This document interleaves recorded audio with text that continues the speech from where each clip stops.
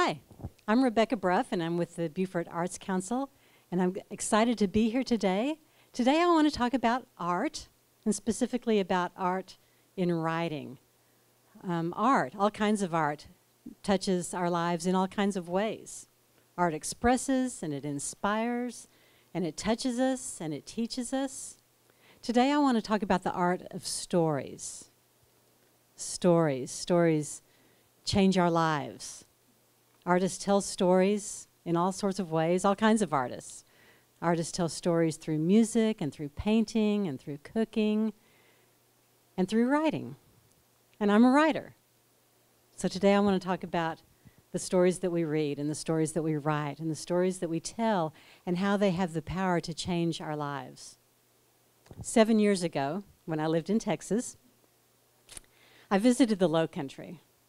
It was my first experience here and we only had a very brief time, but we managed to squeeze in a, carriage ride through the historic district of downtown Beaufort.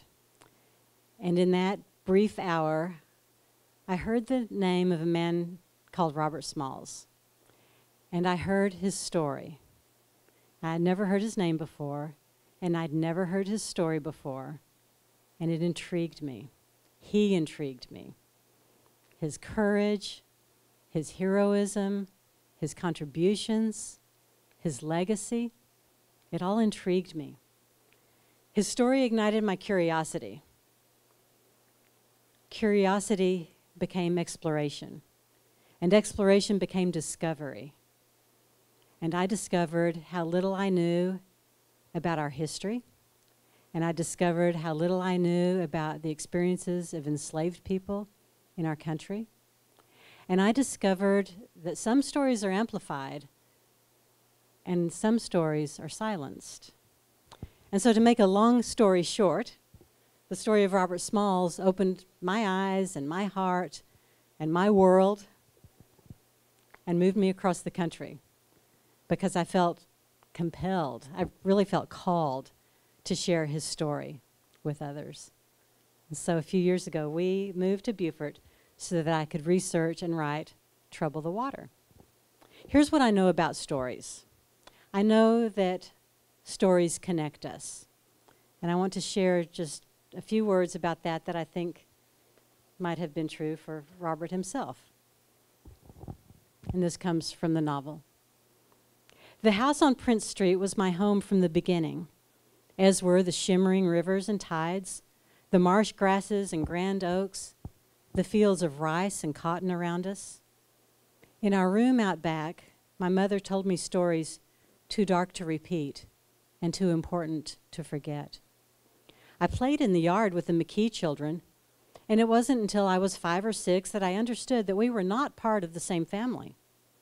I knew, of course, that my skin was dark and theirs was light. I knew that my mother and I slept in the quarters and back, and the McKees slept in fine beds in the big house. I knew that they were warmer in the winter and that sometimes they ate when we were hungry. And I knew that Liza Beth and Hank knew who their father was. I wished that I knew mine. I wished that George was my father, or maybe even Henry McKee. They both raised me and taught me and protected me, or tried to. I enjoyed their attention and seldom doubted their affection. This home and these people, this life, all of it was tangled together like the Spanish moss in the live oak trees.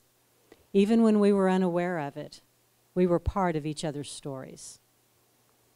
Stories connect us.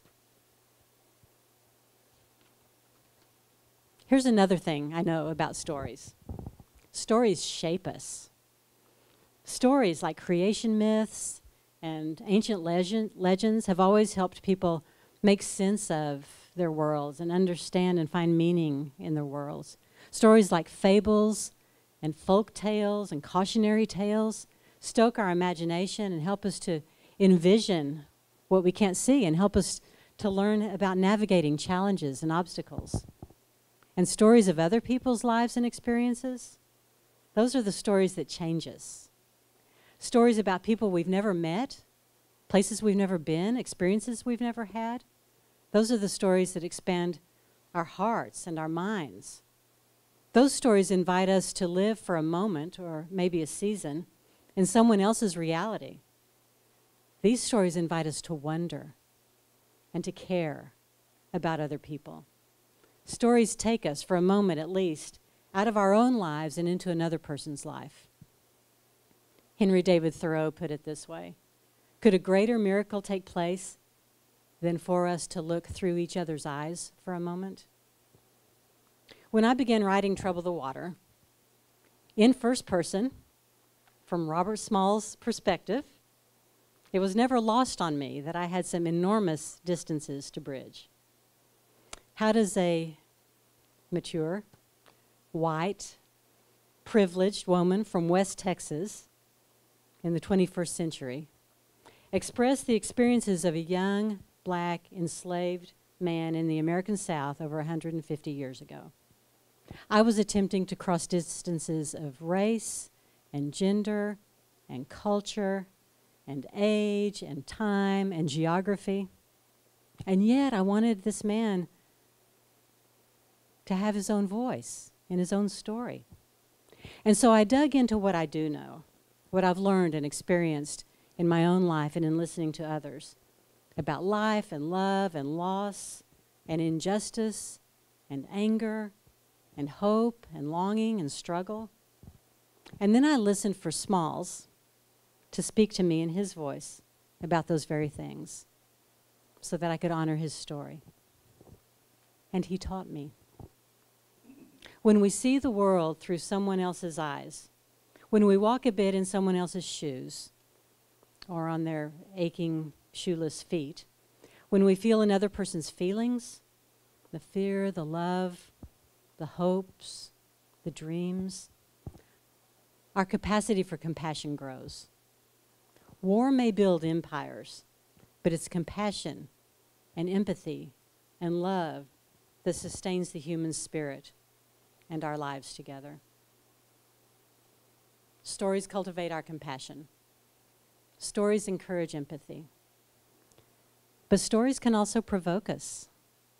Because the stories that shape each of us are all a little different.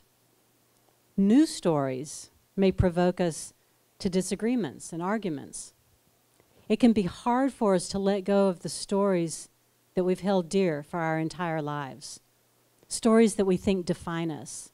And when a new story comes along, a story that challenges our old ways of, of thinking and being, it threatens us. Educators call this cognitive dissonance that collision of what we thought was true suddenly in conflict with evidence that demands that we re examine it. As uncomfortable as that is, that place where our old narrative intersects with a new one, that's where learning happens. And it's real learning, learning that matters, learning that sticks.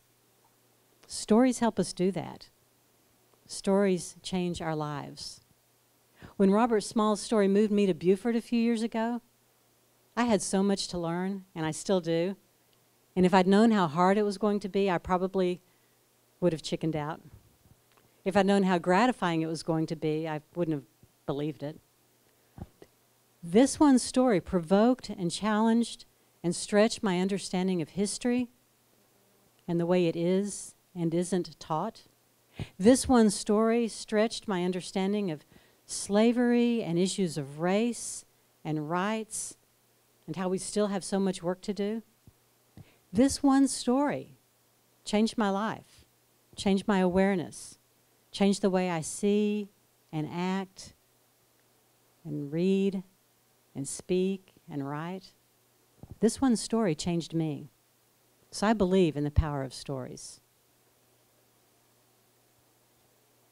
Where there is separation, there's pain. And where there's pain, there's story.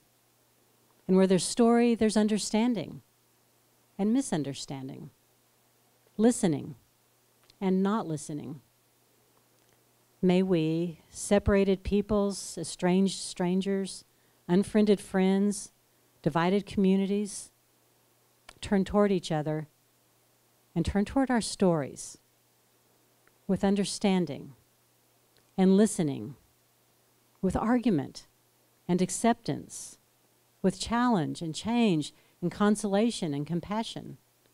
Because if healing will be found, if wholeness will be found, if hope will be found, they will be found in the pain and the beauty of our stories.